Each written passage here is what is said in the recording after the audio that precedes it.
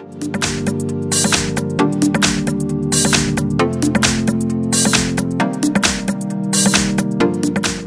I have Samsung Galaxy S10 Plus and let me show you how to enter here the safe mode on the following device.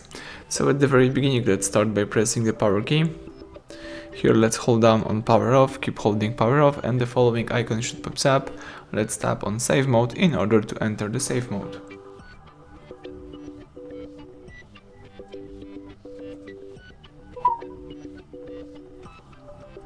That's it, as you can see your device is in safe mode so you can check out how your device works without the third-party apps. And if you would like to quit this mode, let's simply press power key right here, choose restart and tap restart again. Let's wait a few seconds.